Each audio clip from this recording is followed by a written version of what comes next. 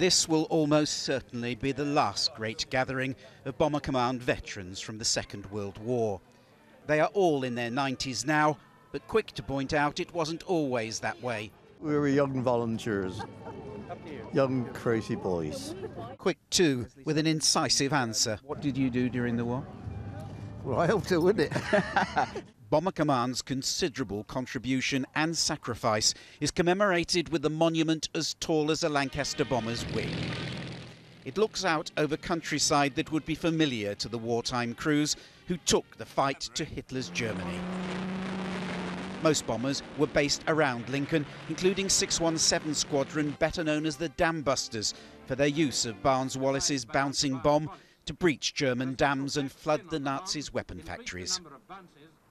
Today, the last surviving British member of the Dambusters raid, Johnny Johnson, was back in Lincoln for the opening of the Bomber Command Centre and its monument that lists the names of almost 58,000 aircrew and support teams who lost their lives.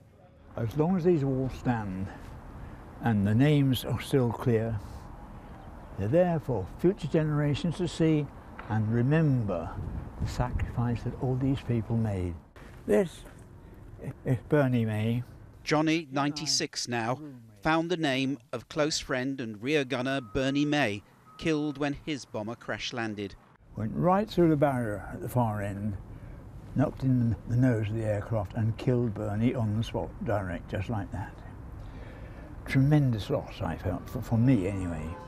On a bitterly cold day when a new generation of the RAF is preparing for possible deployment, these veterans know all about the risks that involves, the pride and the loss they still feel after serving their country.